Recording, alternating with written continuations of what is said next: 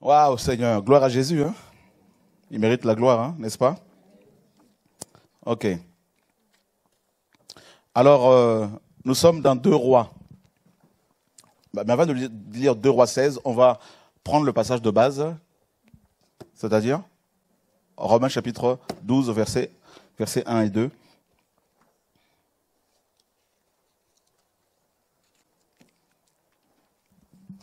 Romains 12, chapitre, euh, verset 1er. Je vous exhorte donc, frères, par les compassions de Dieu, à offrir vos corps en sacrifice vivant, saint, agréable à Dieu. Ce sera de votre part le culte raisonnable. Mhm.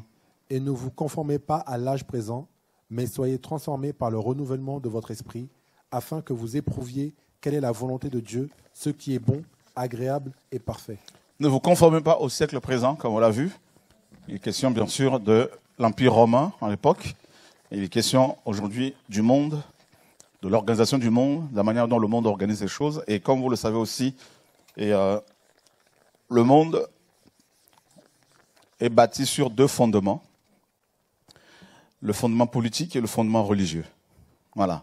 L'être humain, même s'il se dit, euh, même si beaucoup se disent athées, tout homme est profondément croyant. Voilà. Et euh, tout être humain. Si ce n'est pas euh, la croyance en une divinité, ben, c'est la croyance en l'homme. Voilà. Donc, alors, les nations sont. C'est vrai, c'est les deux piliers hein, du monde hein. le côté religieux et le côté politique. Alors, Paul dit justement qu'il ne faut pas se conformer à ces deux fonctionnements-là. Euh, voilà, il ne faut pas prendre ça comme modèle. Et, euh, exactement, le mot, c'est ça. Il ne faut pas prendre Rome comme modèle. Voilà ce que Paul pouvait dire à ces chrétiens de Rome, qui n'avaient pas forcément connu, mais il a eu vent de leur foi, leur foi qui était très, très euh, connue, bien euh, renommée. Et il leur dit alors faites attention, il ne faut pas commencer à vouloir euh, être modelé, façonné par la Rome impériale, par l'organisation de l'Église romaine, de la religion romaine, le mitraïsme et tout ça, de voilà euh, prêtres euh, qui servent cette divinité. Et euh, malheureusement, euh, c'est ce qui s'est passé. Et comme on l'a vu, en 132 à- après Jésus-Christ, il y a eu la guerre des Juifs, une, guerre très, très, très, comment dire, dévastatrice parce que et, Jérusalem était rasée par euh, l'empereur romain Adrien. Il y avait un juif du nom de Bar Kokhba qui était considéré par euh, d'autres juifs comme leur messie. Et Bar Kokhba a rassemblé une grande armée de juifs pour, n'est-ce pas, repousser les Romains qui occupaient la Palestine, qui occupaient Israël, pardon. Et euh, donc, ils vont être matés quelque temps après. Et, Adrien va raser complètement Jérusalem et va, n'est-ce pas, la nommer autrement, la ville de Jupiter. Et, euh, et là, ben, il n'y avait plus, rien. Les Juifs n'avaient pratiquement plus de patrie. Et, euh, puis, euh, donc, l'église de Jérusalem avait cessé d'être influente. Vous voyez, à l'époque, quand les gens se convertissaient, les nations se convertissaient, l'Assemblée de Jérusalem envoyait des apôtres pour mettre de l'ordre. Et ce n'était plus le cas parce qu'ils étaient tous morts. Et ensuite, il y avait deux centres religieux de l'époque, hein, deux villes qui étaient très très importantes sur le plan religieux en ce qui concerne le christianisme. Il y avait Antioche. Déjà, on le voit dans Acte 13. hein, il y avait euh, à l'église d'Antioche, nous dit la parole des prophètes, tout ça, et euh, plusieurs euh, apôtres, docteurs, tout ça. Des prophètes et de docteurs. Et ensuite, il y avait la deuxième ville qui, la deuxième ville, c'était Rome, justement. Et Rome va bah, supplanter toutes les villes, notamment Antioche l'évêque de Rome va devenir carrément le numéro un de tous les évêques, donc le pape. Et comme on l'a vu, le pape, donc ces chrétiens de Rome vont carrément, à la chute de Rome, remplacer euh, César et les sénateurs. Donc euh, le pape devient César et les sénateurs, euh, les évêques deviennent les sénateurs. Et, le mitraïsme va être adopté par l'Église nouvelle. Donc le culte aux morts, le- les prières aux saints, tout ça, et les saints catholiques ne sont rien d'autre que les divinités gréco-romaines qui vont être déshabillées et habillées avec des noms chrétiens. Voilà. Et, euh, et la Marie, ma- mère de Dieu, devient euh, Marie, c'est euh, Diane, parce que elle a été proclamée la mère, la- mère de Dieu en 300, en 431 au concile d'Éphèse. Effectivement, Éphèse était la, la ville que Diane gardait. justement. Et euh, donc, euh, et voilà comment ils vont, cette religion, avec ses, ses- ses partisans, ils vont carrément euh, euh, emprunter, et euh, va emprunter toutes les, assimiler les doctrines païennes. Voilà. Pour faire l'Église universelle, parce que catholique veut dire universel. Donc, pour que cette Église soit universelle, c'est-à-dire acceptable par tous, il faudrait que chaque population, chaque peuple s'y retrouve, retrouve dans cette nouvelle religion ben, des pratiques qui correspondent à ses propres, euh, comment dire, à son propre culte, et euh, que ce peuple se retrouve, euh, voilà, dedans. Et c'est ce qui s'est passé. D'ailleurs, comme on l'a vu, hein, Théodose Ier, quand il arrive au pouvoir, c'est un empereur romain après Constantin, il va constater que effectivement, il va d'abord déclarer que la religion chrétienne, l'Église catholique, était la religion de l'État, que tous les sujets romains devaient être catholiques, qu'il fallait que le paganisme soit prohi- prohibé, interdit. Il a commencé à persécuter les païens qui adoraient les divinités, tout ça. Et il a vu que beaucoup des sujets romains faisaient semblant d'être catholiques, tout en gardant leurs pratiques euh, cultuelles, tout ça. Alors il va demander à ce que ces nouveaux croyants soient d'abord enseignés. Donc il a mis en place le catéchisme avant d'être baptisés. Voilà. Et euh, donc ils ont carrément, comme on l'a vu, hein, introduit dans, euh, en fait ils ont créé leur religion, ils ont créé leur religion, leur église, et ils ont mis dedans plein de choses. Donc euh, le, di- le- le- le dimanche comme le jour du Dieu Soleil, comme on l'a vu, l'ordination des prêtres, ils ont imité l'ordination des médecins chez les Grecs. Vous voyez, les Grecs faisaient allé- allégeance à, à Hippocrate, le plus grand médecin voyez Donc, euh, et pour faire, euh, pour faire partie de, l'ordre de médecins, bah, les médecins à l'époque étaient ordonnés. Donc, ils ont mélangé l'ordination des médecins grecs et, euh, et l'ordination et la consécration des prêtres sous Moïse. Donc, ils ont fait plusieurs mélanges comme ça. Donc, du coup, ben, les gens commencent à être, les prêtres commencent à être ordonnés.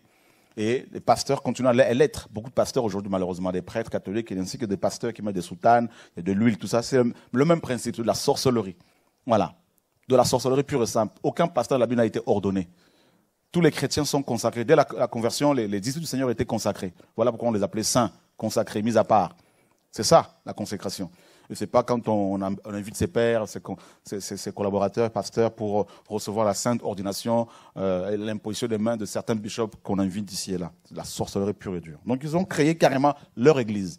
Et Yeshua a dit à Pierre, tu es Pierre, et sur ce roc je bâtirai mon ecclésia. Il n'y en a qu'une d'église du Seigneur. Il n'y en a qu'une.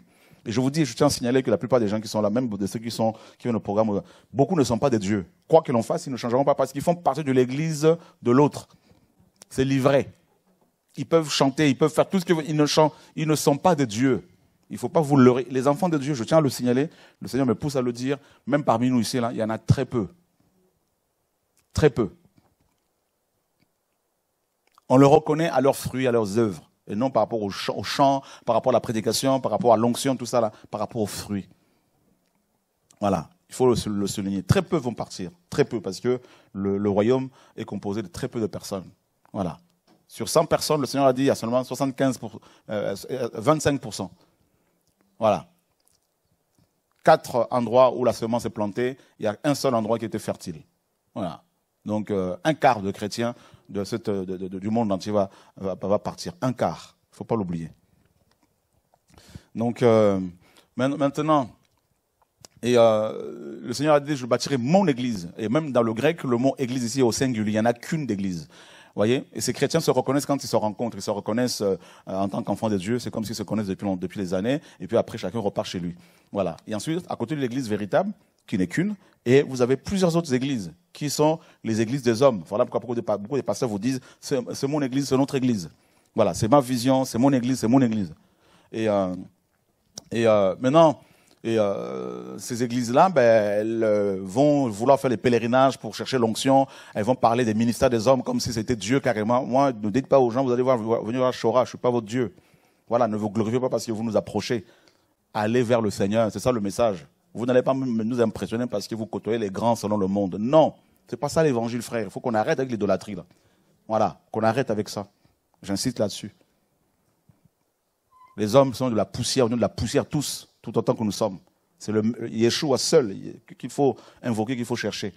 Alors, euh, ceux qui font partie de l'église, euh, des églises des hommes ou de Satan, carrément, parce que lui a la tête, la seigneurie de Satan, ben, ils sont beaucoup plus attachés au ministère, aux hommes, tout ça. Ils sont plus attachés, ils sont idolâtres. Ils cherchent les hommes. Ils courent après les hommes. Ils veulent prendre des photos avec des grands hommes de Dieu, soi-disant. Donc, ils ne sont pas de Dieu parce qu'ils ont une autre semence. Vous voyez? Ils ont une autre semence en eux. Ils ne sont pas de Dieu, croyez-moi. Ils peuvent parler en langue, ils peuvent prophéter, chanter en langue. Ils ne sont pas de Dieu. Voilà, c'est livré. Et euh, donc, euh, cette église, euh, ces églises paganisées, comme je vous l'ai dit, c'est cette chrétienté, chrétienté là que vous connaissez là, tout ça. dedans, vous avez des gens qui sont sincères, et parce qu'ils sont sincères, Dieu les sort à chaque fois. Il les sort, ses enfants. Comme il a sorti Abraham de la Mésopotamie, ça n'a pas changé. Lot de Sodome et Gomorre, tout ça, et Noé, Noah avant eux, de ce monde impie où il y avait des, géants, tout ça, qui faisaient n'importe quoi, qui étaient à la, base de plein de choses du monde antédiluvien eh ben, il sort également ses enfants aujourd'hui, comme il a sorti les enfants d'Israël de l'Égypte. Pareil, Dieu n'a pas changé sa manière de fonctionner. Il est le même. Il n'y a que nous qui changeons. Donc, il continue à sortir ses enfants à chaque fois. Donc, et euh, ces églises, la synagogue de Satan, euh, est dirigée et gérée, en fait, et représentée plutôt, je dirais, symbolisée par cette femme assise sur la bête, comme vous le savez. Et euh, donc, dans cette église, dans ce christianisme, là, vous allez retrouver toutes sortes de pratiques anti-bibliques, comme je vous l'ai dit vous allez retrouver l'observance des jours. Paul le dit dans Galates 4, 10. Je crains que, je crains d'avoir travaillé inutilement pour vous, car vous commencez à observer les jours, les mois, tout ça. Là. Donc ils vont, ils vont remettre en place le Shabbat. Ils vont plus s'accrocher au Shabbat qu'au Dieu du Shabbat, qui est le maître du Shabbat. Ils ont oublié que le Shabbat a été créé pour l'homme et non l'inverse. Voyez, pour certains c'est le Shabbat, pour d'autres c'est le dimanche. Donc c'est le même principe. Ils sont complètement dans la chair. C'est une église charnelle. Elle n'est pas spirituelle elle est tellement charnelle qu'elle commence à observer les jours, les mois, les années, tout ça. Et, euh, euh, c'est complètement, mais Dieu n'est pas dedans. Il n'y a, rien de tout ça. là. C'est que de, les émotions, ce qu'on appelle l'onction parfois là, là-dedans. Là, c'est que des émotions. Ça ne produit aucun changement, aucune transformation radicale. Parce que les gens ne sont pas attachés à l'arbre de vie qui Yeshua, mais ils sont attachés aux branches, hein, aux humains. Voilà. Et euh, donc, comme je vous l'ai dit, les premiers croyants, la première église, la vraie Église, et euh, des frères et sœurs, nos aînés, et, euh, et euh, prier, partager la parole tous les jours. Tous les jours, ils se retrouvaient. Tous les jours, la parole le dit. Tous les jours. Ils étaient eux-mêmes le temple du Saint-Esprit. Ils avaient compris cela. Ils avaient compris qu'ils étaient des prêtres il n'y avait pas, dans ces églises-là, vous ne verrez aucun pasteur qui a été ordonné. Vous ne verrez aucun pasteur dirigeant une église avec, sa femme. Vous ne verrez aucune femme qui se dressait comme ça, comme une apôtresse pour diriger les gens. Vous ne verrez pas, il n'y a pas tout ça là. Vous ne verrez pas ces chrétiens, n'est-ce pas, cherchant à, construire plus leur ministère que de bâtir les frères et sœurs et les laisser avec le Seigneur. Jamais. Ils étaient dans la simplicité. Vous ne verrez pas les chantres comme on le voit aujourd'hui. Vous ne verrez pas ces chantres-là parce que ces chrétiens, tous étaient des chantres. Tous étaient des adorateurs parce que Dieu les a établis comme des prêtres. Un prêtre est un adorateur. Un prêtre, chez les prêtres, dans les Écritures, lisez bien. Vous allez voir que les, prêtres, beaucoup étaient, des étaient chantres. On parle d'Azaph, qui était lévite, qui était prophète, qui était chantre. On parle de Corée, les fils de Corée, et leur père, qui était aussi prophète, lévite et chantre. Voyez? Donc, euh, c'était ça leur fonction. Ils chantaient, ils sonnaient le chauffard, tout ça, de cornes. Donc, et, ça, c'était la préfiguration, n'est-ce pas, de, de, de, de, de, de, l'Église. D'ailleurs, je tiens à vous dire autre chose que le Seigneur m'a enseigné quand je suis aux Antilles. Donnez-moi le nom du grand prêtre chez les Hébreux. Aaron. Ok. Et qui étaient les prêtres? Les Lévites. Les enfants d'Aaron. Les enfants d'Aaron. On est d'accord? On est d'accord? Ok. On est d'accord, hein? Ceux qui nient encore que Yeshua est le Père et notre Père. Qui est le grand prêtre selon l'ordre de Melchisedec Quel est ce nom Jésus. On est d'accord? Qui est d'accord avec moi, avec, avec ça? Ok. Et qui sont les prêtres aujourd'hui? C'est nous. Nous. Donc, si les prêtres sous Moïse étaient tous enfants d'Aaron, et Aaron leur père, on comprend bien que Aaron est l'image de Christ, Christ le grand prêtre aujourd'hui, et si nous sommes des prêtres, et qui est notre père Jésus. On peut l'acclamer parce qu'il est notre père. Alléluia. Est-ce que vous commencez à comprendre ces choses-là? La Bible nous dit que la, loi était l'ombre. Christ est le corps. On est d'accord? Donc il faut que vous soyez délivrés de la religion, sinon vous, vous êtes sur le chemin de l'enfer. Je vous dis la vérité. Hein si vous n'êtes pas libéré de ces fausses doctrines, là, tout ça, là, si vous êtes éclairé, vous résistez à la vérité, Dieu vous demandera des comptes. Vous ne pourrez pas dire au Seigneur, on n'avait pas entendu. Voilà. Et euh, donc, euh, c'est clair, quand vous, ne pouvez pas comprendre Christ, l'œuvre de la croix, sans comprendre Moïse. Parce que Moïse, c'est l'ombre. Donc quand on comprend Moïse, quand on comprend le tabernacle, quand on comprend le tabernacle, on comprend, on peut, comprendre l'Église. Je vais vous rappeler, vous dire une chose. Vous savez que Israël dans le désert était appelé aussi l'Assemblée de Dieu. Vous savez ça? C'est aussi une autre Église. C'est aussi une autre assemblée. La première Église c'est Adam et Ève. La deuxième c'est Israël. Vous comprenez? Amen? Moïse c'est l'image de Christ, comme vous le savez. Dites-moi, Israël, le tabernacle était un lieu physique ou quelque chose qu'on pouvait porter On, portait, on, on pouvait porter. Ok. Cette église-là, elle était fixe, figée ou elle se baladait? Et c'est baladé. Il y avait plusieurs stations, on est d'accord? D'accord, oui. Pourquoi vous vous restez sur une même station à vie? Vous êtes religieux. Beaucoup ne veulent pas comprendre. Voilà comment Satan est rentré dans vos églises. On veut comprendre l'église, mais on ne veut pas étudier Moïse. On veut comprendre Christ, mais on ne veut pas comprendre Moïse. On veut comprendre Christ. Si vous voulez comprendre Christ en tant que prophète, il faut comprendre Moïse en tant que prophète. Il faut le comprendre. Si vous voulez comprendre, parce que Moïse l'a dit, Dieu va vous susciter un prophète comme moi. C'est le prophète de l'Exode qui délivre, qui, apporte le salut. Si vous voulez comprendre Christ en tant que, n'est-ce pas, grand prêtre, il faut comprendre la prêtrise d'Aaron. Vous comprenez? Si vous voulez comprendre votre propre prêtrise en tant que prêtre, il faut comprendre la prêtrise des enfants d'Aaron. Et je tiens à vous signaler, pour ceux qui disent encore que les chrétiens doivent payer la dîme alors qu'ils sont prêtres, aucun prêtre n'a payé, la, dîme. Aucun prêtre. C'est les prêtres qui, qui prenaient la dîme de Lévite. Et les Lévites prenaient la dîme du peuple. Or, nous sommes tous prêtres aujourd'hui. Qui, maintenant, parmi les prêtres, a payé la dîme? Donc, vous voyez, il y a des choses que les gens font parce qu'ils ne comprennent ni la parole du Seigneur, ni les Écritures. Voyez? Parce qu'on leur a présenté une église babylonisée, une église bâtie sur les fondements des hommes, sur les traditions païennes, et non sur le fondement que Moïse a posé, sur le fondement d'Abraham, la foi d'Abraham. Comment voulez-vous comprendre l'église du Seigneur si vous ne comprenez pas le Tanakh, les écritures de Genèse, Apocalypse, à, à Comment voulez-vous comprendre l'église si vous ne comprenez pas l'Isra- Israël en tant qu'assemblée qui se baladait, qui marchait, qui allait de, station en station, qui était dans, le- dans le pèlerinage? Parce que Canaan, c'est le monde, euh, c'est le ciel, l'image du ciel. Le désert, c'est le monde. Et la traversée du désert, c'est la traversée de l'église actuelle jusqu'à l'enlèvement de l'église. Et cette église dans le désert n'était pas là assise quelque part à vie. Cette église était conduite par la nuée. Par, la nuée, vous comprenez? Et la nuée, c'est l'esprit. Le Seigneur a dit quoi? Quand l'esprit viendra, il vous conduira dans toute la... Est-ce que tu commences à comprendre ces choses-là, frères et sœurs? Vous commencez à comprendre? Soyez libérés de la religion, sinon la religion vous conduira à l'enfer, là. La religion des hommes. Il y a, il y a eu une parfaite analogie entre Moïse et Christ. Maintenant, comme on l'a vu, Marcion, le premier homme à avoir rassemblé le corpus, les, écrits de, la Nouvelle Alliance, lui, il était anti, euh, n'est-ce pas, antisémite, antisémite au- aujourd'hui. Il était judéophobe. Il a, n'est-ce pas, dit carrément qu'on n'a rien, nous l'Église, on n'a rien, nous les chrétiens, on n'a rien à voir avec Israël, la vraie, n'est-ce pas, Israël selon Dieu, bien sûr. On n'a rien à voir avec euh, les écrits du Tanakh, donc il n'a pas tenu compte des livres de Genèse à, Malachie. Et voilà comment ben, des chrétiens qui, ont, qui, qui sont fondés sur Mar- Marcion, ben, ils se disent, ben, ils, ils comprennent pas Moïse, ils comprennent pas l'Église. Quand on parle de l'Église, ils pensent que l'Église a commencé avec euh, les apôtres, tout ça. Mais l'É- l'Église a commencé avec même avec Adam et Ève. Voyez, c'était des préfigurations, tout ça là. Adam et Ève étaient dans quelle maison, enfermés dans quel bâtiment? Adam et Ève étaient où? Hein? Vous voyez, frères et sœurs, alléluia. Adam et Ève étaient, en tant que mari, mari et femme, étaient bénis par quel pasteur? Voyez? Vous, vous bénis- on vous bénit par des pasteurs. Donnez-moi un seul verset où on a vu un pasteur bénir un mariage. Vous voyez, on fait des choses comme les, comme les prêtres dans le monde, dans les, dans les, dans, les, la religion, dans le mitraïsme, dans les choses du monde. Vous voyez? Et, les gens veulent justifier leur pratique avec la parole du Seigneur, alors qu'il n'y a aucun, aucun, aucun verset qui peut soutenir leur doctrine.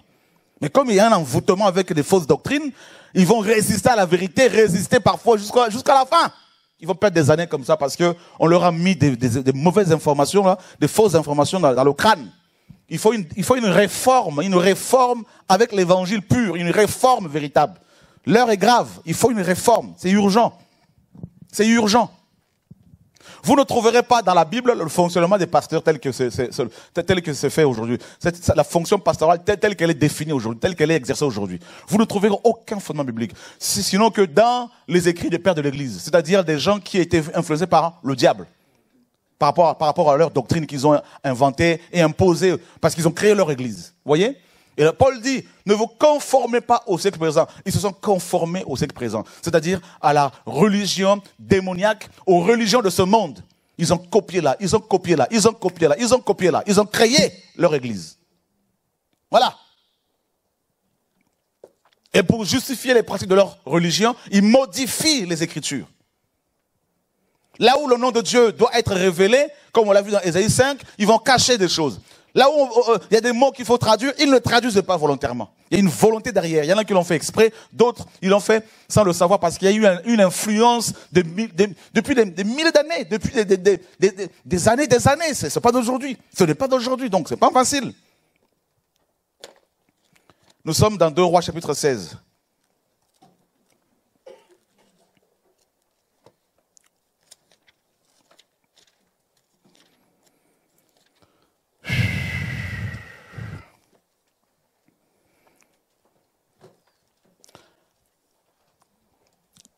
À partir du verset 1er, Joël. La septième année de Pékash, fils de Rémalia, Akaz, fils de Jotam, roi de Juda, commença à régner. Akaz, âgé de 20 ans lorsqu'il commença à régner, il régna 16 ans à Jérusalem. Il ne fit pas ce qui était droit aux yeux de Yahweh, son Dieu, comme avait fait David son père. Mais il suivit la voie des rois d'Israël, et il fit même passer son fils par le feu selon les abominations des nations que Yahweh avait chassées de devant les enfants d'Israël. Il offrait aussi des sacrifices et des parfums sur les hauts lieux, sur les coteaux et sous tout arbre vert. Alors, Retzin, roi de, Syrie, et Pékash, fils de Rémélia, roi d'Israël, montèrent contre Jérusalem pour lui faire la guerre. Ils assiégèrent Akaz, mais ne purent en venir à bout par les armes. Dans ce même temps, Retzin, roi de Syrie, fit rentrer Élat au pouvoir des Syriens. Il expulsa les Juifs d'Élat et les Syriens vers à Élat, où ils ont, ils ont demeuré jusqu'à ce jour. Mhm. Akaz envoya des messagers à Tiglath-Pileser, roi d'Assyrie, pour lui dire Je suis ton serviteur et ton fils. Monte et délivre-moi de la main du roi des Syriens et de la main du roi d'Israël qui s'élève contre moi. Alors Akaz prit l'argent et l'or qui se trouvait dans la maison de Yahweh et dans les trésors de la maison royale, et les envoya en pot de vin au roi d'Assyrie. Le roi d'Assyrie l'écouta, il monta contre Damas, la prit, emmena les habitants en captivité à Kir et fit mourir Retzin. Alors le roi d'Akaz s'en alla à la rencontre de Tiglat Peli euh, Pileser, roi d'Assyrie à Damas, et ayant vu l'autel qui était à Damas, le roi d'Akaz envoya au, prêtre Uriah la forme et le modèle exact de cet hôtel. Vous voyez, euh, on fait une pause ici. Regardez bien. Hein. Il n'y a, rien de nouveau sur la terre. Ce qui existe a déjà existé. Donc quand Paul disait aux Romains, ne prenez pas pour modèle Rome, la religion romaine, Paul savait, il connaissait cette histoire. Akaz, roi de Juda, arrive au pouvoir. Au lieu de craindre Dieu, la parole nous dit qu'il va marcher selon les voies des rois d'Israël, des rois impies. Il va suivre leur modèle. Ok, Dieu lui envoie des ennemis qui vont l'attaquer. Le roi d'Israël et le roi de Syrie. Et puis, qu'est-ce qui se passe? Akaz, au lieu de se référer au Seigneur, de se repentir, non, pas du tout. Il va prendre les choses du Seigneur, il va les donner, hein, les ustensiles du temple, les offrir au roi d'Assyrie, cette fois-ci. Il y a eu la Syrie, la Syrie actuelle et la Syrie. Voilà, c'est deux pays différents. Et euh, eux là, Assyrie ici vient de Assur. Assur était un descendant de Shem, le fils de Noé. D'accord? Voilà. Euh, et il envoie il envoie quelqu'un voir Assur ou les Assyriens pour avoir de l'aide. Et le roi d'Assyrie arrive, effectivement, il va lui porter de, il va l'aider, effectivement. Et qu'est-ce que Akaz va faire? Il va aller à Damas. Il va voir l'autel d'un démon. L'autel où l'on sacrifie des animaux, on sacrifie des animaux. Il voit un autel, n'est-ce pas, et euh, sur lequel on sacrifiait des animaux, des, hommes également, parce qu'ils ils faisaient beaucoup de sacrifices humains, notamment les premiers-nés, dessus. Et lui, il arrive là-bas, il voit cet hôtel, il dit, waouh, qu'est-ce qu'il est, il est pas mal cet hôtel. Il est pas mal. Et qu'est-ce qu'il va faire? On nous dit qu'ayant vu l'hôtel qui était à Damas, le roi Akaz envoya au prêtre Uriah la forme et le modèle exact de cet hôtel. Oh Seigneur. Et qu'est-ce que le prêtre va faire Au lieu de résister, non, ils étaient tous corrompus. Le prêtre Uriah construisit un hôtel entièrement d'après le modèle envoyé de Damas par le roi Akaz. Et le prêtre Uriah le fit avant que le roi Akaz soit de retour de Damas. Et quand le roi Akaz revint de Damas et vit l'autel, il s'en approcha et y monta. Il fit brûler son holocauste et son sacrifice, versa ses libations et répandit sur l'autel le sang de ses sacrifices d'offrande de paix. Il éloigna de, oh Seigneur, de la, n'est-ce pas, de la face de la maison l'autel de rein qui était devant Yahweh, afin qu'il ne soit pas entre le nouvel autel et la maison de Yahweh. Et il le plaça à côté du nouvel autel vers le nord. Voyez? Donc, il, on prend le mensonge, on introduit ça dans le christianisme, et à côté de ce mensonge, il y a la vérité. Ça fait un mélange. Au lieu d'aller vers le Seigneur pour avoir les instructions sur le culte véritable qui honore le Seigneur, sur la manière dont il faut adorer le Seigneur, non, lui il va voir, n'est-ce pas, les Assyriens. Or, Assur était à la fois le Dieu et le roi de la ville.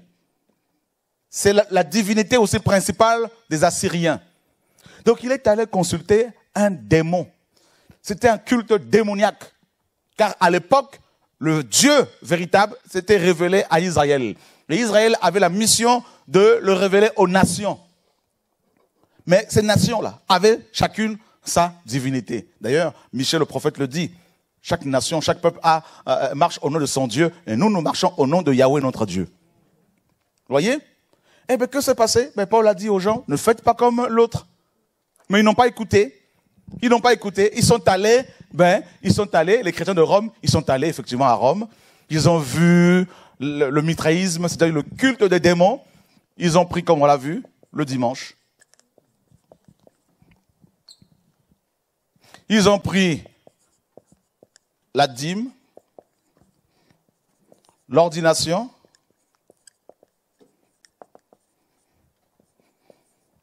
ils ont pris les bâtiments, n'est-ce pas? La monarchie, c'est-à-dire la suprématie du pasteur, hmm? voilà, la vision pyramidale, tout ça là. Les vêtements.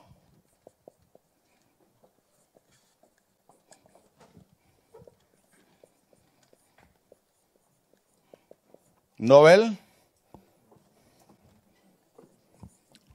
Pâques. Parce que la Pâque que les chrétiens font chaque, chaque année, on dit la Pâque, la Pâque. Ça, c'est la Pâque catholique. Hein, c'est la, la, déesse Astarté. Ça vient d'Astarté. Parce que Christ est notre Pâque. Voilà. Donc quand il faut le séminaire, là, chaque année, Pâques, Pâques, ce sont des démons qu'ils fêtent là. L'ascension, tout ça là, l'assomption, comme chez les catholiques, tout ça là. Vous voyez? Et euh, il y a S à la fin. Hein voilà. Donc, euh, et euh, ils ont pris quoi d'autre euh, Vous allez me rappeler hein, tout ça là? Hein? La, la, la, la, théologie? Hmm? Hein? Le cléricalisme. 11. Le sacerdotalisme. C'est-à-dire la médiation humaine. Il faut passer par le pasteur pour, pour, pour le mariage. Hein? Tu veux ouvrir un commerce, il faut aller voir l'homme de Dieu pour prier, pour qu'il prie pour toi. Le sacerdotalisme a donné plus tard l'enseignement sur les pères spirituels. Il n'y a pas, ça n'existait pas père spirituel. Ça n'existait pas. père spirituel n'existait pas. C'est pas, voilà, père de la foi, oui, ce sont des, frères et sœurs qui, pouvaient, en annonçant la parole, mais ce n'étaient pas des pères, et- des pères de la foi qui étouffaient les frères et sœurs. Non, pas du tout.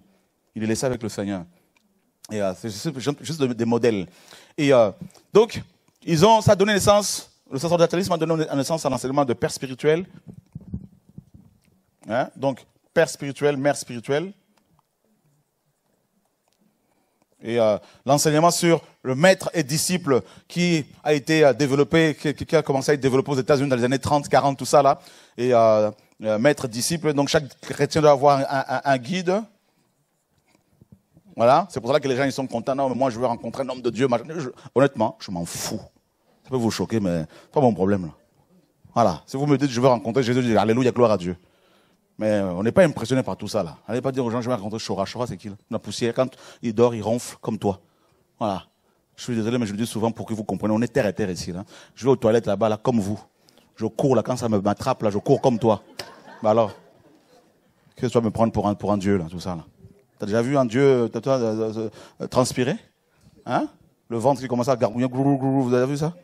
Faut arrêter, mes amis, là. On a tous porté des couches ici, n'est-ce pas? Voilà, un jour, on n'aura plus de dents. Alors, c'est quoi cette affaire? Un seul Dieu, Yeshua. Mhm. Est-ce qu'on peut lui faire un bisou, mes amis, là? Gloire à Dieu. Voilà. Tout ça, c'est enregistré. Hein. faut pas dire qu'on vous a pas averti. Mhm, Seigneur. Gloire à Dieu. Waouh Oh, Seigneur, sauve-nous. Oh, il nous reste une demi-heure, ça va, une- 40 minutes. Donc, c'est c'est terrible, frère. Ils ont copié, ils ont copié euh, 12. Ils ont copié quoi? Faisons-nous un nom, les dénominations. Moi, je suis pentecôtiste. Moi, je suis catholique. Moi, moi, je suis des assemblées de Dieu. Les ADD. Ailleurs, c'est AD. Et moi, moi, je suis témoin de Jéhovah. Alors Jésus a dit, vous serez, vous serez mes témoins. Non, moi, je suis témoin de Jéhovah, Jéhovah, Jéhovah. Mhm. La lettre G a été inventée au, au 16e siècle, alors c'est comment? Bon, et, et toi, t'es, moi, moi, je suis adventiste. Moi, catholique, né catholique, je mourrai catholique. Ils sont fiers. Seigneur, sauve-nous. Fais- Faisons-nous un non. Genèse 11. Ouais, ils ont copié tout ça. Voilà. Voilà. Ils sont dans des prisons, dans des cages. Un jour, j'o- j'o- j'observais notre lapin, on a un lapin là. Mon fils Noah voulait à tout prix. Il était dans sa cage, tout ça, je disais, oh là le pauvre, vraiment, là, il galère là-dedans, là, tout ça, dans sa cage, il fait, il tourne en rond. Et le Seigneur me dit, j'entends la voix du Seigneur, mais et toi? Et vous, dans vos, appartements, là, tout ça, là? Dans vos maisons, dans, des cages aussi? Hein? Êtes Tout, tout, euh, tout, tout content? Gna, gna, gna. On a cinq pièces, euh, cinq pièces. C'est-à-dire cinq prisons là-dedans, tout ça. Hum? On est là, tac, tac, on se ferme, tac, tac, tac, tac. Hum, on dort, on dit, on est quelqu'un. T'as vu ça? Vous avez vu cet homme riche, ce milliardaire là, dans sa, dans sa villa là, hein? Enfermé avec tout ça tout autour, avec un- une muraille, tout ça, barbelé, tout ça, machin, vide barbelé, tout ça tout autour, les alarmes, tout ça. Il dit qu'il est, il est libre. Il est libre. Il est libre. il dort pas bien comme il faut, il est en prison, il dit qu'il est libre. Hmm? Les cieux de ceux ne peuvent contenir notre Dieu. Vous compte, frères et sœurs? Adam était dans la nature, non? Vrai ou faux? Voilà. Donc c'est grave. Alors, vous voyez, ils ont copié tout ça. Plein de choses encore. Hein? Ils ont copié chez les Africains, par exemple, les offrandes du prophète. C'est-à-dire quand un homme de Dieu vient prêcher, il faut mettre un panier devant pour, que- pour donner l'argent pour l'homme de Dieu. Donc du coup, ils vont prêcher pour avoir de l'argent. Et comme ils prêchent pour avoir de l'argent, ils ne plus, peuvent plus dénoncer le péché. Voilà. Ils vous caressent dans le sens du poil, parce qu'à la fin, ils vont amasser, amasser, amasser. Offrande du prophète. Ils se basent sur Galates 6.6. Que celui à qui on enseigne la parole fasse part de tous ses biens à celui qui l'enseigne. Or, le mot bien vient de agathos, qui ne veut pas dire bien, qui veut dire ce qui est bon. Ben oui, il n'est pas question de bien matériel. Voilà pourquoi on a corrigé ça. Donc, du coup, là, on détruit cette offrande-là. Parce que Jésus a dit, vous avez reçu gratuitement, donné. Voilà l'enseignement du maître. Enseignez-leur à observer tout ce que je vous ai prescrit.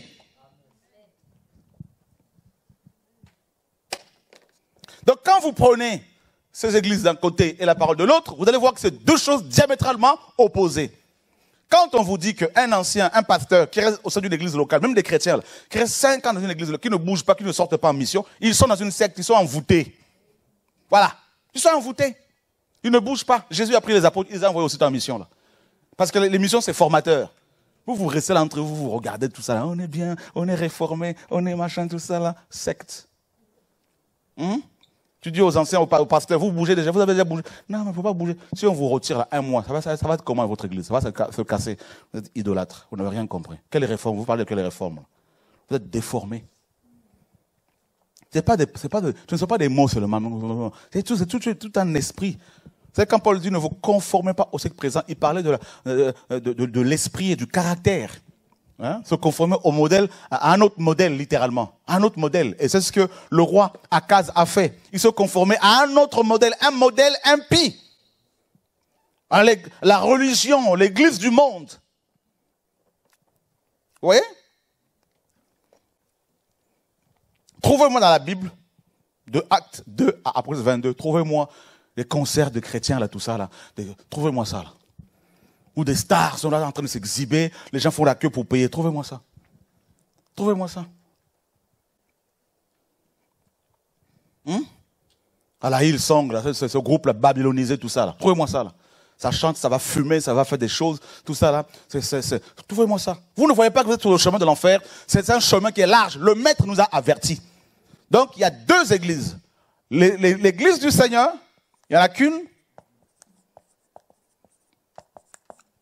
Et les églises, n'est-ce pas, de l'ennemi ou l'église de Satan. Il y, en a- deux. Parce qu'il y a deux portes. Il y en a une qui est étroite, dont le chemin est resserré, qui conduit à la vie. Très peu passent par là. Il y en a une autre, la deuxième, elle est large. Le chemin est très spacieux. Il y en a beaucoup qui passent par là. Beaucoup, le Seigneur a dit. Beaucoup. Eh bien, regardez-moi cette chrétienté-là, paganisée là. Regardez-moi. Regardez-moi tout ça là. Ces chrétiens qui pensent que, pensent que le jour du Seigneur, c'est le dimanche. Je ne dis pas qu'il ne faut plus prier quand euh, euh, prier le dimanche. Le dimanche, on est, dans ce cas-là, si vous vous retrouvez, c'est parce que vous ne travaillez pas. Mais sinon, ce n'est pas le jour du Seigneur. Vous pouvez faire autre chose le dimanche. Vous voyez? C'est quand même terrible. Donc, c'est la majorité qui suit ça. La majorité qui croit que Dieu est trinitaire. La majorité. C'est écrit, hein Jésus l'a dit. Là, on le lit. Mais on, est aveuglé. Vous savez pourquoi? On a, on, fait on a des lunettes dénominationnelles. Voilà pourquoi, quand on lit la parole, là, on a du mal à comprendre des versets. On dit, mais ce, ce verset, je l'ai toujours lu, mais je n'avais pas compris comme ça. Mais parce que, parce que tu es né dans, un, dans la religion. Toi et moi, nous sommes nés dedans. On y a grandi. On nous a appris les choses.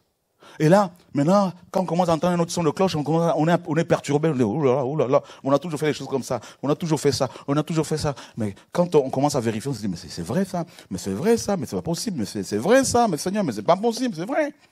Mais comment ça se fait qu'on n'a pas vu ça? Ben, Comment voulez-vous euh, voulez-vous voir ça si Dieu ne t'éclaire pas? Voyez? Il faut l'illumination. Il faut l'illumination. Donc, vous voyez, vous avez vu l'église du Seigneur? L'église du Seigneur, Paul parle du culte raisonnable. C'est quoi le culte raisonnable selon Dieu? Paul ah, ne parle pas, ni le Seigneur, ni les apôtres, ne parle pas de- du paiement de la dîme, de l'observance d'un jour ou Shabbat? Jamais. Ils ont parlé de ça Vous voulez remettre encore la, euh, Moïse? Vous voulez remettre encore le, culte mosaïque? Bien, C'est ce qui s'est passé. C'est-à-dire, ces églises, les églises de Satan ont fait un mélange. C'est tout ça là. Donc ça, c'est l'église du Seigneur. On verra les aspects de l'église du Seigneur. Ça, c'est tout ça là. Il y a deux tableaux. hein. Voilà. Tout ça, c'est l'église de Satan. Je ne dis pas que tous les théologiens sont dans la sorcellerie, non, ou sont, euh, sont dans, le, dans le faux. Il y en a qui sont sincères. Quand Dieu les éclaire, ils sortent. Voyez? C'est terrible. Maintenant, là, tout ça, là, ils ont remis en place un mélange de l'Égypte. Donc, vous retrouvez le culte de l'Égypte. Vous allez retrouver Babylone. Vous allez retrouver le fonctionnement euh, gréco-romain du culte, hein, toujours. Vous allez retrouver de l'hindouisme, de tout là-dedans. là. Un mélange. Un mélange. Et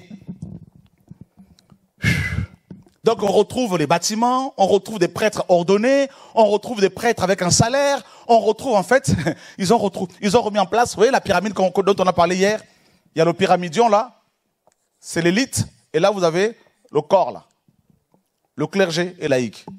Alors que dans le fonctionnement de l'église selon le Seigneur, vous avez les prêtres, vous avez les temples et vous avez les sacrifices.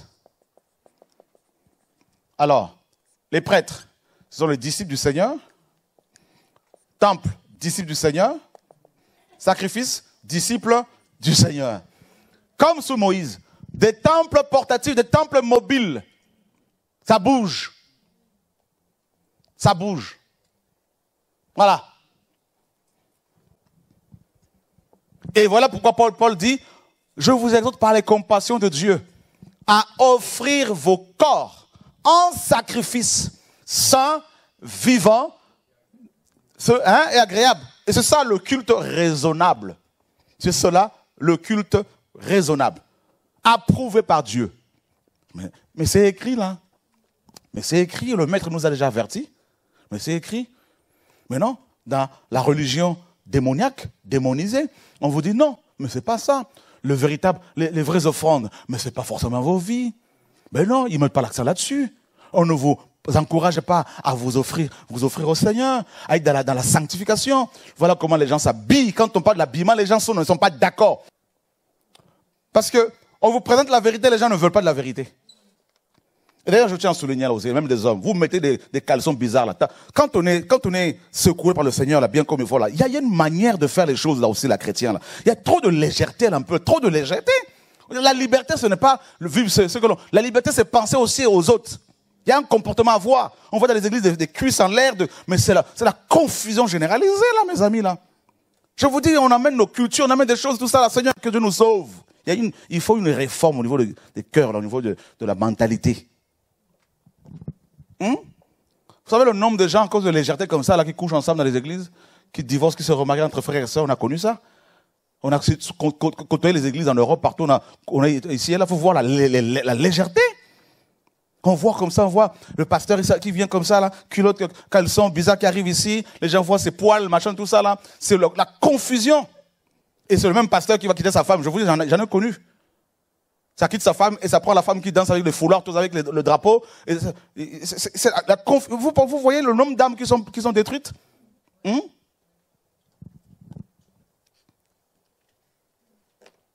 Il y a trop de... Il y a trop de... Seigneur, sauve-nous. Sauve-nous. Il a déjà fait. Tout est accompli. Des femmes qui viennent des décolletés, excusez-moi, mais on voit, la poitrine, tout ça là. C'est la confusion. La confusion les gens sont modelés par le monde, modelés. Nous tous, hein, mais on doit quitter, on doit quitter, on doit sortir. Plus on entend la parole, plus on doit sortir. Plus on doit sortir. C'est important.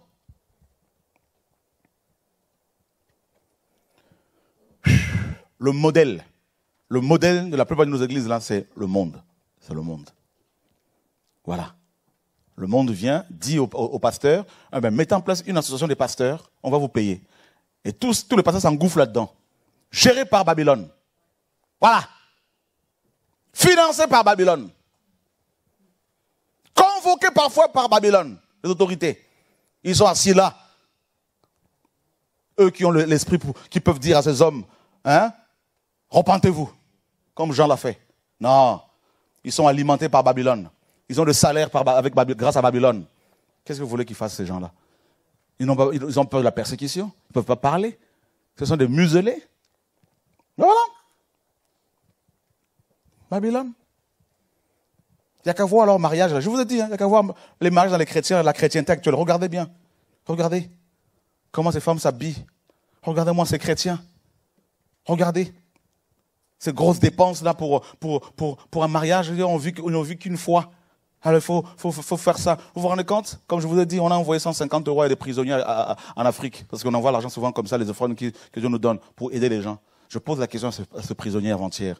On vous a envoyé 150 euros. Ça va vous nourrir pendant combien de temps? Il me dit un mois. Un mois. Et quand j'entends des chrétiens, là, ils vont acheter, des bagues à 2000 euros, des, robes de mariage à 4000, 5000, hein? des vêtements qui, vont porter une seule fois. Vous pensez que ces gens, ils ont, ils ont l'esprit du Seigneur, là? Ils sont, ils sont modelés par Babylone. Le modèle de tout ça, là, c'est le monde. Ils ont vu ça où? À la télé Ils ont vu ça où? Hein? Hein? Hollywood Ils ont vu ça où Dans le, monde. Hein vous êtes des chrétiennes Vous vous mariez, vous mettez des robes, on voit vos, le haut de vos, corps, tout ça là. Vous, vous, vous, la, parole dit quoi La parole dit quoi? Le corps de la femme appartient à son mari. Hein vous allez vous exhiber comme ça pour, pour et c'est normal. Tout le monde trouve ça normal. Et quand Dieu corrige, on dit c'est pas normal. Je dis bien. De ça, m'a dit de, de plus en plus là. C'est fini la rigolade là. Depuis que temps, c'est fini. Moi, je ne suis pas pasteur. Je ne je dirige pas une église. Le Seigneur m'a dit crie. C'est ça, ton rôle. Vous n'êtes pas d'accord, vous êtes libre. Mais ce n'est pas pour autant que personnellement je me taire. C'est fini là. Au fils, au fils de la foi, là, ce n'est pas mon problème. Voilà. Vous êtes libre de mener votre vie désordonnée. Et je suis libre de craindre mon Dieu et de crier et d'achever la mission que ça m'a confiée là. N'en déplaise aux gens. C'est comme ça. Parce que les gens sont modelés par le monde, il y a le poids de la culture, il y a le poids du monde, et les gens veulent plaire au, monde, tout ça là. Paul dit quoi? De même que Satan a réussi à tromper Ève, Ève hein, par sa ruse. Et vos pensées, je crains que vos pensées aussi ne se corrompent à l'égard de la simplicité qui est en Christ. La simplicité. Vous avez vu? La simplicité. Vous avez vu dans Babylone ces pasteurs qui veulent des jets privés, il y en a plein. Plein en Afrique. Il y en a même en Afrique qui ont deux, trois jets privés. Vous avez vu tous ces pasteurs avec des cortèges, comme des, même, certaines autorités n'ont pas autant de cortèges. Là. Même certains milliardaires. Là. Vous ne verrez pas des gens, même les grands riches de ce monde, certains même ils, sont, ils, voyagent discrètement. regardez tous ces pasteurs comme ce monsieur en Afrique du Sud, ce nombre de, chrétiens qui l'acclament, qui, vous voyez qu'ils le défendent. Mais il n'y a que ça. Ils sont envoûtés. C'est l'envoûtement clair et net. Vous avez vu? Envoûtement. J'étais dans ce système-là. J'ai mangé dans ce système. J'ai été euh, allaité par ce système. Je vous assure, hein, je suis né dedans. Donc, les choses que l'on dénonce là, c'est des choses que j'ai vues quand on, des pasteurs se mettent ensemble, certains pasteurs se mettent ensemble, quand ils commencent à parler, c'est bon, on va faire un séminaire, il nous faut de l'argent, on va faire venir des, gens qui parlent. Hein, il y a tel prédicateur, lui, il est beaucoup euh, axé sur sur euh, la prospérité, donc il sait comment parler, comment faire sortir l'argent des poches des gens. Donc on va l'inviter. Mais si on l'invite, il demande souvent 30% de l'argent récolté. Donc il va falloir qu'on négocie avec lui au lieu de 30, 20%. Quand on, voyage, on, vous invite comme ça dans les séminaires, bah, souvent, hein, il y en a, ils vont vous dire, bon, telle sœur, telle sœur, telle sœur, qui sont au protocole, dans la chorale, eh ben, si vous voulez aller avec, il n'y a pas de problème. Si vous venez pour une semaine de séminaire, eh ben, homme de Dieu, ben, si tu veux, tu peux aller avec 5, 6, 7 femmes, autant que tu veux. Tout ça, il a pas de souci. Donc, pour te mettre à l'aise, pour pouvoir bien travailler. Alors que c'est des hommes qui sont mariés. Voilà comment ça se passe dans beaucoup d'assemblées. Il y a beaucoup de choses que vous, ne maîtrisez, que vous ne connaissez pas. Là. Quand on nous voit parler comme ça, dire il n'y a pas l'amour, il est dur. Ah ouais, mais c'est ce qu'ils ont dit aussi aux apôtres. Hein. Vous êtes dur. Vous êtes dur. Chrétiens, vous montrez vos seins. Chrétiens, vous vous montrez vos jambes. Chrétiens, vous montrez vos corps. Vous chrétiens, l'esprit ne vous parle pas, tout ça. Là. Avant, quand vous vous habillez chez vous, là, l'esprit ne vous dit pas. Quand vous mettez vos, vos vêtements, là, l'esprit ne vous dit pas. L'esprit parle. Il parle. Il y a un problème. Le problème, c'est qu'il y a, y a quelque chose qui. Il y a un problème de connexion là.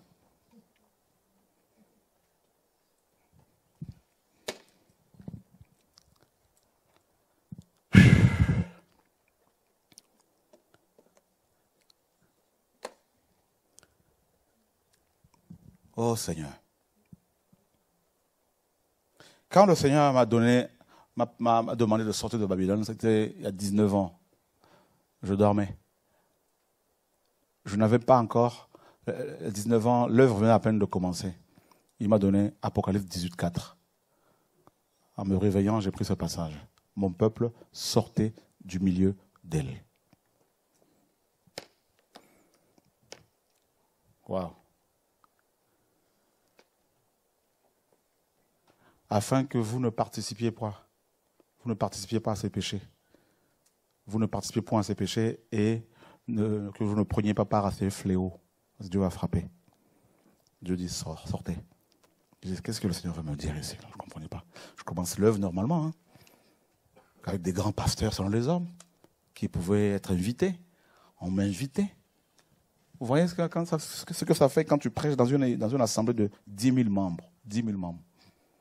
Tu arrives, a 10 000 membres. Hein? Tu es dans un gros 4x4. Chauffeur, tu es à l'aise, tu es reçu comme un dieu, acclamé. Tu es dans un hôtel 4 ou 5 étoiles, tu es nourri, logé, blanchi, tout ça, bien comme il faut.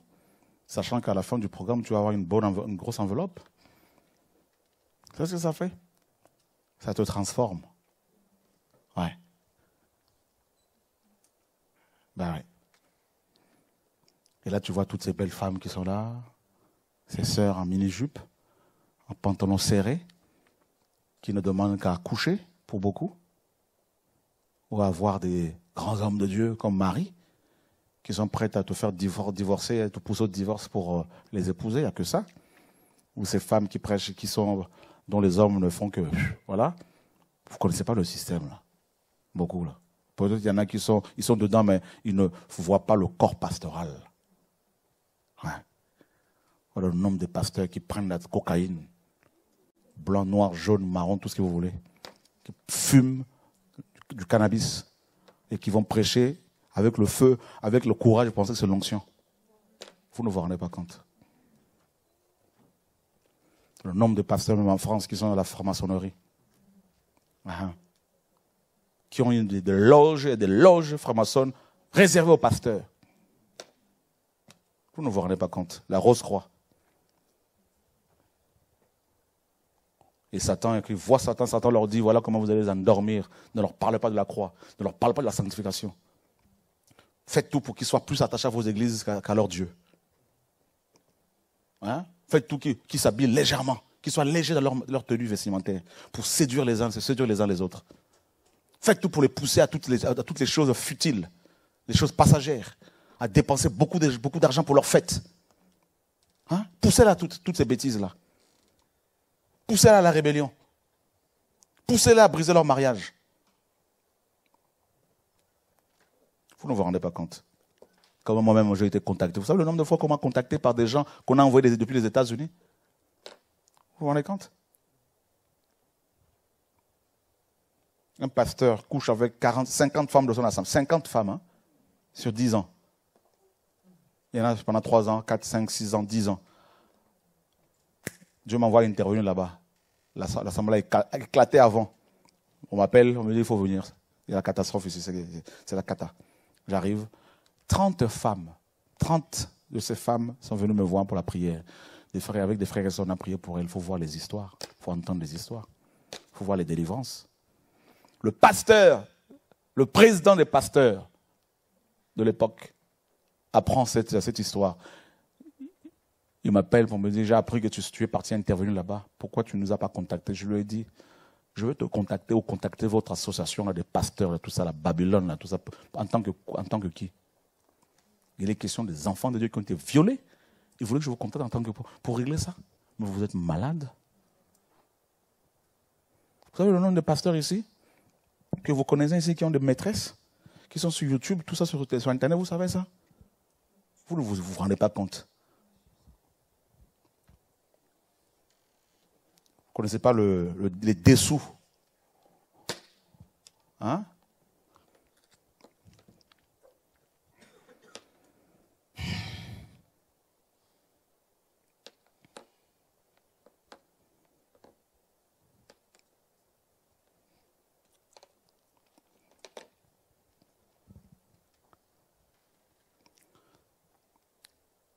à l'époque, j'essaye de rassembler, j'essaie de rassembler des pasteurs pour prier. Je me suis dit, bon, l'œuvre vient de commencer, vient de commencer, on va se retrouver avec des pasteurs pour prier parce qu'ils sont pasteurs. Parce que pour moi, quand j'entendais pasteur, forcément, pas le souci. Craignez Dieu. On se retrouve avec 15, 20 pasteurs, avec leurs femmes. Le lendemain, la femme d'un pasteur, je me vois pour me dire, mais tu sais, le pasteur qui était là, ce pasteur-là, oui, marié, père de plusieurs enfants, oui, mais il me drague depuis trois ans, parce qu'il travaille là où j'habite, dans une euh, hein, grande surface, en tant que vigile, mais je ne savais pas que c'était, n'est-ce pas, un pasteur. Et là, j'arrive à la réunion des pasteurs, je me rends compte que c'est un pasteur. Il fait partie, il est un des responsables de l'association des pasteurs. Uh-huh. Une autre femme me dit, mais, femme me dit, mais tu sais, le pasteur là, ben, je suis allé à l'OFPRA pour mes papiers, l'office euh, hein, pour les étrangers, et lui, il travaille là-bas en tant qu'interprète, et il me fait la cour. Et je le rappelle, je dis, pasteur, mais la veille, on s'est vu à la réunion des pasteurs. J'étais là avec mon mari. Hmm? Vous avez le nombre des gens que j'ai dû, même chez nous, la dénoncer, là, parmi les pasteurs, même chez nous.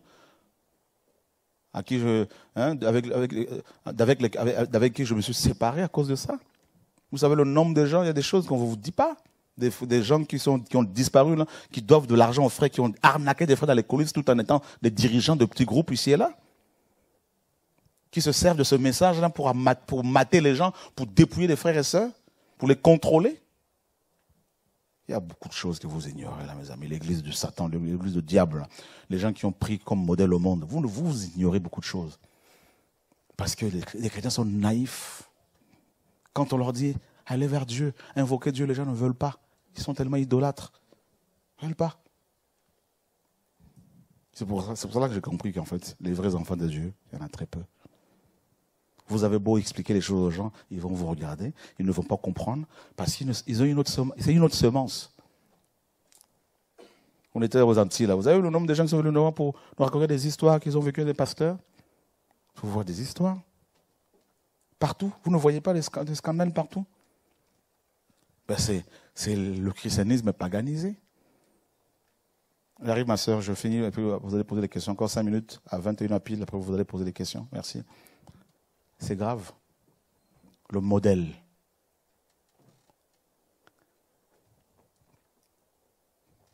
Le modèle.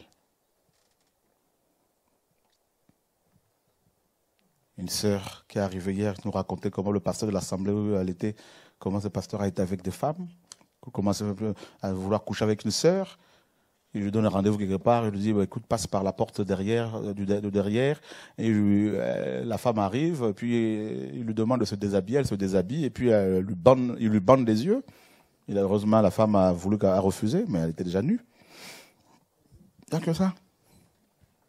Hum? Vous avez vu Jésus dans tout ça? Vous reconnaissez Jésus dans toutes ces, hein, dans toutes ces vidéos, sur toutes ces vidéos, dans toutes ces vidéos, dans tous ces, sur ces, ces panneaux publicitaires, vous, vous reconnaissez Jésus? Hmm? Vous avez vu dans quelle Bible où un pasteur, après sa mort, c'est son fils qui va hériter de, de l'église locale, et l'église, après, c'est la famille. Vous avez vu ça dans quelle Bible? Vous avez vu ça où? Vous devez toujours vous dire en tant qu'enfant de Dieu, est-ce que c'est écrit ce que nous faisons ou pas? Est-ce qu'il y a un fondement biblique ou pas? Le modèle. Alors, pour finir, c'est quoi le modèle? Eh bien, Le modèle de l'Église du Seigneur, c'est ce que la parole dit. Nous sommes édifiés sur le fondement des apôtres et des prophètes, Éphésiens 2, 20. Et Yeshua est la pierre angulaire. C'est-à-dire, il doit toujours être au centre. Et ce modèle-là, de cette Église-là, dit, veut que des chrétiens soient, n'est-ce pas, des prêtres. C'est-à-dire des hommes et des femmes capables, lors des réunions d'Église, de pouvoir s'exprimer. Voilà, de s'exprimer. Ils ont la possibilité de pouvoir s'exprimer, de pouvoir chanter, parce que les chants ne sont pas réservés à l'élite. Hein voilà. D'ailleurs, même, une autre information que je tiens à vous donner. À partir de maintenant, jusqu'à nouvel ordre, si Dieu me met à cœur un programme de réveil ici, il n'y aura plus des chantres qui vont chanter. S'il y a le piano, c'est tout le monde qui va chanter. Fini ça. Fini pour habituer les gens, tout le monde, à participer. Là. Tout le monde. Voilà. Plus le micro là, que quelqu'un chante pour l'instant. Non.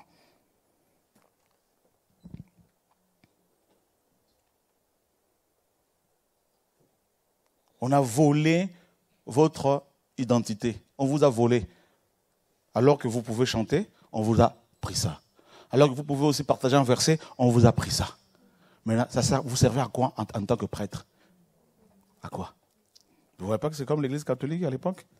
Comme c'est le cas, le cas aujourd'hui Le prêtre a la connaissance, vous restez ignorant, et vous, venez le dimanche, et puis le prêtre va faire sa, hein, sa messe, et puis, euh, hein, et, puis, puis après vous rentrez chez vous. La Bible, ne la lisez pas. Voilà pourquoi. Posez la question à beaucoup de chrétiens est-ce qu'ils lisent la Bible? Ils l'ouvrent seulement le dimanche, et encore. Et encore. Et quand vous allez leur dire voilà ce que Dieu dit, oui, mais mon pasteur n'a pas dit ça, mais ton pasteur, c'est qui? Il est dans la Bible, ton pasteur? Hmm? C'est pour ça qu'il ne faut pas dire Chora a dit, Chora a dit, Chora a dit. Non, c'est pas Chora. Il faut, arrêter de dire ça. D'ailleurs, si quelqu'un vient me voir pour dire j'ai le frère Chora, écoute, arrête avec le frère Chora là. Dis-moi que Jésus t'a parlé, d'accord? Donc, ne viens pas me manipuler, hein, parce qu'on t'a vu paraître à côté de, ce frère, et euh, arrêtez un peu la, la manipulation. Frère, c'est un, con- un conseil. Si quelqu'un vient vous voir avec ça, là, dites-lui, tu peux aller voir ailleurs. Voilà. C'est pas une insulte.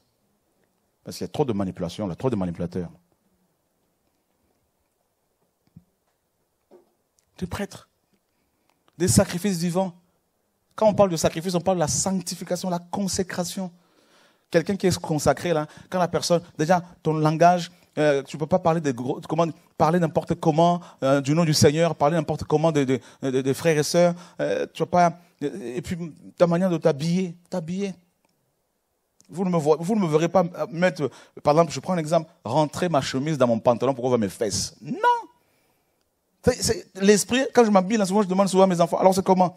Là, c'est bon. Là, c'est comment? C'est comment? Parce que tu sens que mais tu vois des chrétiens, excusez-moi, même des hommes, ils pensent que les femmes ne peuvent pas être séduites. Hein? Pantalon dans, dans, euh, chemise dans le pantalon, tout- toutes les fesses dehors, ça se dandine comme, comme des dindes. Euh, c'est normal. Hein Laissez-moi parler.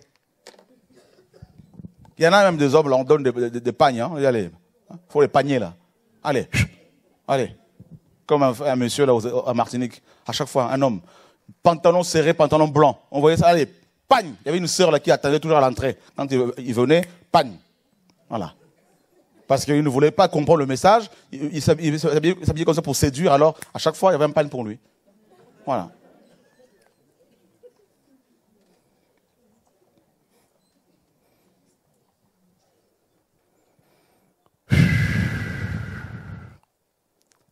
Comment, euh, comment, euh, regarde, les habits du monde là. Hein? Les hommes deviennent de plus en plus. euh, et, et- le vêtement, il y a une confusion là. Tu vois, c'est le monde. Pas comme le monde. Pas comme le monde. Hein? Le maquillage, les femmes, là, on se dit, mais c'est quoi cette affaire? Cette sœur, elle est naturelle. Le, naturel, tout ça, là, ça disparaît. Hein? Le monde. Le monde. On a pris le rock. Le rock, la musique. On a, on a fini, hein On a pris le rock. On a introduit à l'église. Le rock. Tu regardes les mariages là, on dit la chanson là c'est quoi? On dit non, non, c'est pas la musique du monde, hein. C'est chrétien. Je dis, vous me dites que ça c'est chrétien? Mais vous êtes envoûtés. Ouais, vous êtes envoûtés. C'est-à-dire, pour beaucoup de chrétiens, on dit, ils disent la musique, cette musique est chrétienne parce qu'il y a les paroles de Dieu dedans. Mais regardez-moi ce rythme bizarre là. Qui pousse les gens à se déhancher comme pas possible. Mais entre ça et, et le mapuka ou je sais pas quoi, ou euh, le coupé décalé, ou, ou le, euh, la musique de la Johnny, Johnny, Johnny, euh, tout ça. Il y a une confusion. Oh Seigneur, sauve-nous. Vrai ou faux? Hum? Et, et- et on a pris quoi? On a pris le, rap. On dit non, pour la jeunesse, vous comprenez? Pour la jeunesse, pour attirer la jeunesse. Et moi, la Bible dit, dans la Bible, Dieu dit, hein, je répandrai, je répandrai de mon esprit sur toutes vos jeunes gens. C'est l'esprit qui convainc. Voilà ce que, ce que Dieu dit dans sa parole. Voilà. Mais non, on dit, non, non, parce que quand ils viennent à l'église, en fait, il faut les garder. Donc, en fait, quand ils viennent au bâtiment, à la dénomination, il faut les garder, non dans le royaume, mais dans le royaume pastoral, dans l'église du pasteur, parce que c'est son métier, c'est son boulot. Il a pris sa voiture par crédit, maison par crédit, les études de ses enfants par crédit. Qui sont ceux qui doivent rembourser ces crédits? Eh bien, c'est vous. C'est-à-dire, Christ est mort à la croix pour que vous soyez les payeurs des pasteurs. Donc voilà pourquoi quand on vous évangélise dehors, on ne vous amène pas vers Dieu, on vous amène vers les âmes. Donc évangéliser, c'est recruter. Un collage. Voilà pourquoi on vous donne les flyers, tout ça avec euh, l'adresse de l'église, avec tous les programmes qu'on ne- qui ne changent pas. Le mardi, c'est la prière. Le mercredi, c'est l'enseignement pour les hommes. Le, une, une femme qui veut l'enseignement le mardi, on dit non. Tu attends ton tour. Voilà. Et puis le dimanche, c'est le culte d'adoration. Donc avant le dimanche, il n'y a pas de culte d'adoration. On vous donne Qui a déjà reçu ce, type de programme-là? Voilà.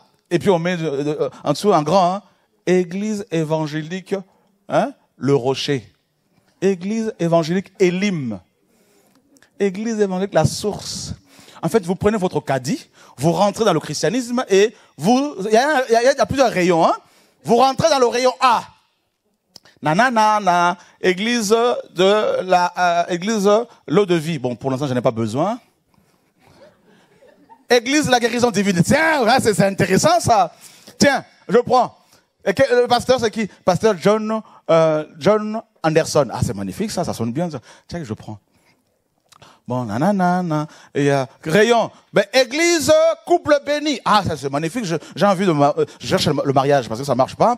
Comme les agences matrimoniales, ça, ça fonctionne plus actuellement là. Eh ben, tiens, ben, je vais là-dedans. Voilà. Et une fois qu'on a fait ces courses-là, une fois qu'on a eu ce qu'on voulait, eh ben, c'est bye bye. Vrai ou faux? Et on passe à la caisse.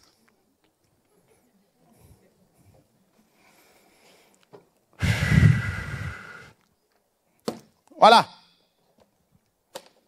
Mais qu'on te dise à toi, c'est toi que Dieu veut. C'est pas ton argent. Les riches viennent.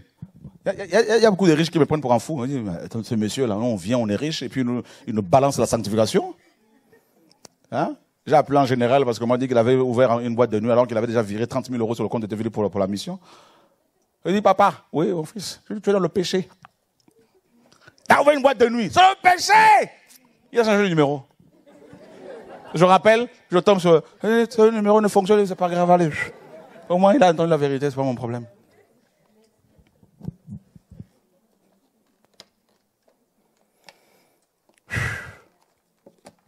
Bon, ma soeur, question Seigneur, sauve-nous. Hmm. Akaz. Bonsoir. Bonsoir. Bonsoir. Euh, J'avais une question concernant les papes, enfin le pape ou les papes.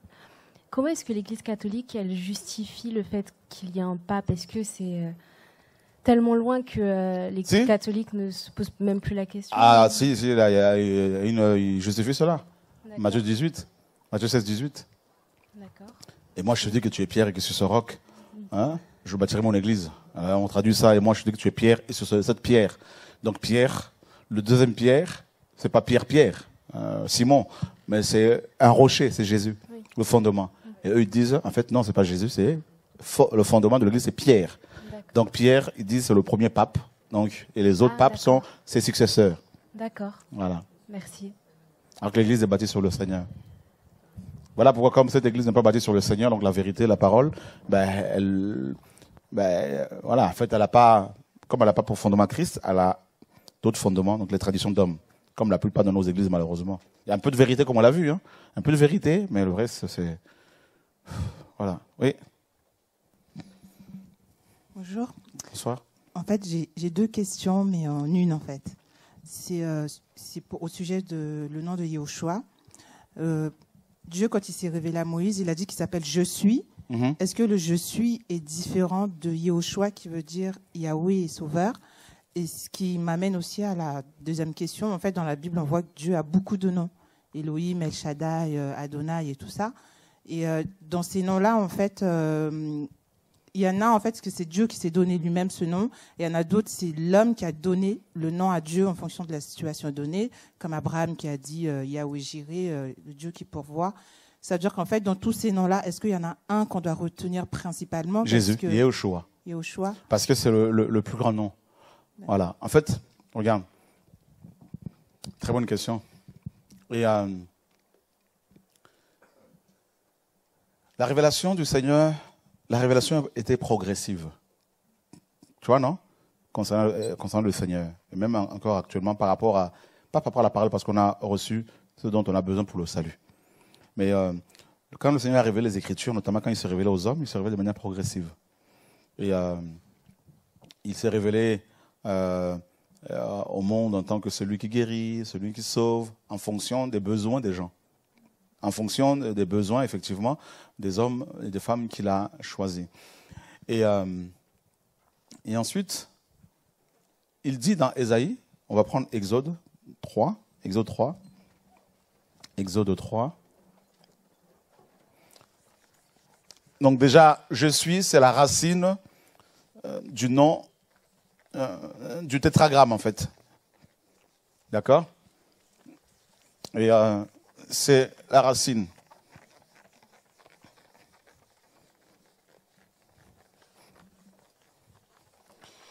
Exode 3, 14, 3, 15, tu peux le lire ma soeur Tu peux le lire? Dieu dit encore à Moïse, tu parleras ainsi aux enfants d'Israël. Yahweh, le Dieu de vos pères, le Dieu d'Abraham, le Dieu d'Isaac et le Dieu de Jacob, m'a envoyé vers vous. C'est là mon nom pour l'éternité. C'est là mon souvenir d'âge en âge. Ok, Dieu dit que ce nom est... Donc, euh, c'est un nom pour l'éternité. On est d'accord, hein? Et c'est un nom pour... Voilà, donc c'est un nom qui doit être gardé comme souvenir. Et c'est un nom pour l'éternité. Et nous savons, nous sommes, vous êtes tous d'accord avec moi que Dieu ne ment pas. On est d'accord Donc, et euh, alors qu'il s'était révélé comme le Dieu qui guérit, comme le Dieu qui sauve, hein, le Dieu de justice. Ok, c'était d'autres noms qu'il a. Mais par contre, il dit le, ce nom, hein, le nom, euh, euh, on va dire principal, c'est, ce sont ces quatre lettres-là. Voilà. Et il dit c'est pour l'éternité. Et il ne ment pas. Voilà pourquoi, dans le nom de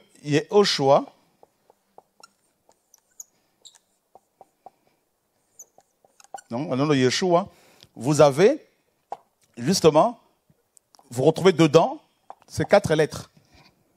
Donc le nom de Yeshua, qui va être traduit en plusieurs langues, euh, qui va être, comme on l'a vu, hein, euh, être traduit en français par Jésus, alors qu'on aurait dû garder ce nom en hébreu. Voilà, ce qu'on l'a vu, le nom, la lettre J n'existait pas avant. Elle a été créée en 1542. Et, euh, et là, dans le Yehoshua, vous avez, comme on l'a vu, ça marche plus là. Vous avez ici Yud, la main, c'est la plus petite lettre de 22 hein, euh, lettres hébraïques. C'est la plus petite, mais c'est la plus puissante. La plus puissante. C'est pour ça qu'il ne faut pas minimiser les gens qui paraissent petits, moindres, euh, insignifiants, parce que c'est souvent par ces hommes et ces femmes que Dieu peut aussi nous faire du bien. D'accord? Voilà. Donc, Yud. Et, euh, et ensuite, vous avez la lettre E. Et euh, la main, le pouvoir, comme on l'a vu hier. Donc là, c'est la louange. Donc vous, retrouvez que dans le nom, vous allez vous rendre compte, dans le nom de, dans le, dans le tétragramme, la louange, est, la louange revient deux fois. Donc Dieu mérite vraiment la louange. Amen. Et, euh, et ensuite, vous avez Wav. C'est vraiment le clou. Et vous avez de nouveau lettre E. Et le reste de lettres, c'est Yasha. Yasha qui veut dire sauver, salut, délivrance, tout ça. D'accord? Voilà.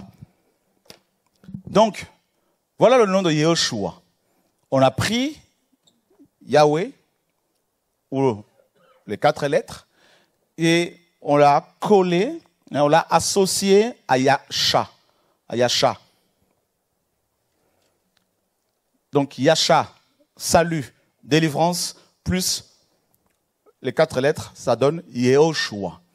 Voilà pourquoi, comme je vous l'ai dit dans la dernière version de la Bible, avec BGC, comme euh, dans d'autres Bibles aujourd'hui, qui commencent de plus en plus à revenir à ce nom euh, d'origine, nous avons fait le, n'est-ce pas, le choix, nous avons décidé euh, d'utiliser le nom de Yehoshua. Tout en refusant bien sûr de condamner ceux qui prononcent le nom de Jésus, parce que euh, ceux qui l'invoquent, ceux qui l'ont invoqué hier, sincèrement, ils sont sauvés, il n'y a pas de problème à cela. Voilà, Dieu regarde au cœur. Mais nous voulons revenir au nom de Yeshua. Pourquoi? Parce que c'est d'abord le nom en hébreu euh, du Seigneur, et ensuite parce que dans ce nom-là, on retrouve véritablement le nom de, de, Yahweh, donc le tétragramme, qui a été traduit au XVIe siècle par l'Éternel, par Olivier Tan. C'est lui qui est le premier à traduire le tétragramme par l'Éternel. Donc quand vous dites, quand vous dites que l'Éternel est Dieu, l'Éternel est mon Dieu, c'est en fait le- les quatre lettres. Donc, euh, donc voilà, vous vous rendez compte que Jésus donc, est est vraiment l'Éternel. Voilà. Donc maintenant, quand on lit ça en hébreu, on comprend encore mieux. On se dit, bah oui, mais en fait, le tétragramme se retrouve dans le nom de notre Maître.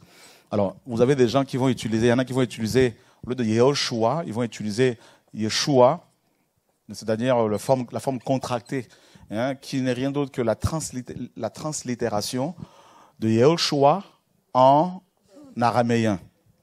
Voilà. Et euh, parce que, pourquoi? Parce que ben, quand euh, les Hébreux étaient déportés au VIe siècle de Juda, de Jérusalem à Babylone, arrivés à Babylone, ils ont fait 70 ans là-bas, ils ont perdu la langue hébraïque, hein, l'usage de cette langue, et ils ont commencé à apprendre l'araméen. Voilà. Et euh, donc du coup, la langue hébraïque était devenue la langue du culte, que l'on parlait seulement euh, dans le temple, euh, par les prêtres. Voilà. Voilà. Donc, euh, c'est bon? Que le Seigneur soit béni. Une question? On a encore cinq minutes. Bonsoir. Bonsoir. Euh, en fait, j'aimerais bien être éclaircie sur euh, Apocalypse 17, euh, 6.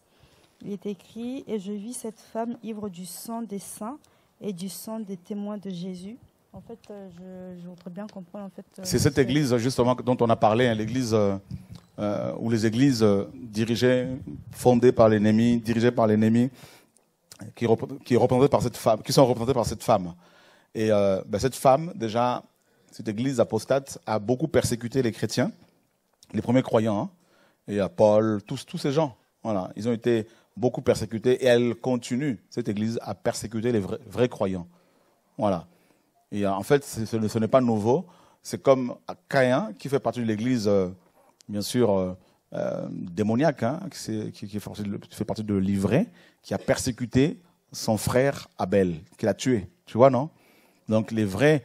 En fait, dès l'instant où tu acceptes, ma sœur, de marcher dans la lumière, dans la lumière de la parole, dans la vérité, dès l'instant où tu acceptes de, suivre le Seigneur, plus le Seigneur que les traditions d'hommes, eh ben, tu vas être persécuté par des chrétiens traditionnels. Voilà.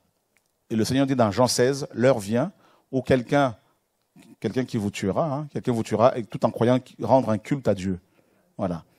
Donc vous avez des gens qui se disent chrétiens, qui vont attaquer d'autres chrétiens parce qu'ils ne veulent pas suivre hein, les traditions d'hommes. C'est-à-dire, au lieu qu'ils courent après les prédicateurs, les prophètes, les grands ministères, eux, ils courent après le Seigneur. Voilà. Ils partagent la parole avec les, frères et sœurs simplement. Ils ne cherchent pas à avoir des pères spirituels parce qu'ils ont un père spirituel qui est, notre Père céleste, hein, Yeshua, notre Dieu. Donc, ils vont être persécutés, tout simplement. Et c'est pour cela que quand euh, vous qui recevez ces choses-là, ça ne doit pas vous gonfler, ça ne doit pas vous amener à manquer du respect aux autres, à d'autres frères et sœurs, à d'autres chrétiens. Et pas du tout, parce que euh, il faut beaucoup d'amour. Quand le Seigneur nous enseigne, nous devons plus avoir de la compassion pour les uns, les uns les autres, prier les uns pour les autres, et non condamner les gens. Et ça, c'est quelque chose qu'il faut éviter, parce qu'il y a des gens euh, qui sont complètement dans, le système religieux, mais bien comme il faut, alors, tout en étant sincères et parfois même plus sanctifiés que nous autres. Donc, il faut vraiment pas oublier cela. Voilà. Donc, euh, euh, il faut beaucoup, beaucoup de prudence, beaucoup d'humilité. Au nom de Yeshua. Ça vous intéresse qu'on clôture demain? Demain? Ouais Oui Dernière question. hein. Bon, avant-dernière question. c'est- Alors, En fait, euh, depuis le premier jour, en fait, je me pose euh, des Didasco une question. Et euh, je voudrais savoir, quand le Seigneur est dit euh, qu'il connaît, il nous connaît par, par euh, notre nom, est-ce que c'est le nom qu'on a reçu de nos parents ou c'est ce- le nom qu'il euh, qu'il donne euh, et que soi-même, il n'y a que nous qui savons? C'est le nom nouveau va- qu'on va recevoir. Et bien sûr, il, nous connaît, il connaît aussi nos noms physiques, fait, euh, voilà, qu'on a reçu des parents, ça c'est clair. Ouais. Mais il fait allusion au nom qu'il va qu'on a reçu depuis l'éternité. Voilà. Merci, merci.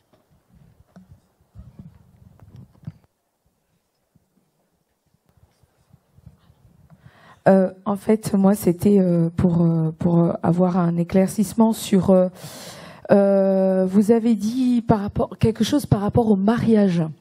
Donc, euh, moi, j'aimerais savoir euh, euh, cette célébration ou euh, comment, euh, comment elle doit se faire, quoi. Très bonne question. En fait, le, au XVIe siècle, il y a eu la réforme protestante. D'accord.